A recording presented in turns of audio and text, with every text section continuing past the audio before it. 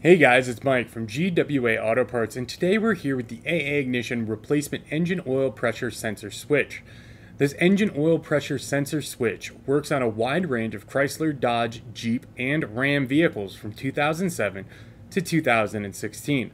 Such popular models include the Chrysler 300, Dodge Challenger, and Ram 1500. Please see the full list below or contact us to make sure this fits your vehicle. What this engine oil pressure sensor does is it makes sure the correct amount of oil pressure and levels are maintained as your vehicle is running, allowing it to run as best as it can. Typically using the gauge on your dash, this sensor will reflect on there how much oil pressure your vehicle has. If those readings are inaccurate, your vehicle is running but it says low oil pressure, or there might be a check engine light, start here because you might need to replace your existing sensor.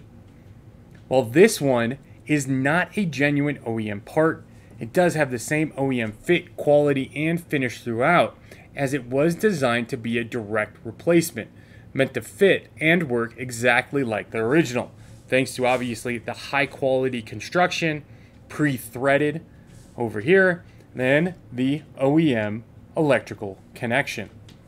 With the right tools, you may be able to install this yourself. Just make sure your engine is cool to the touch before getting started.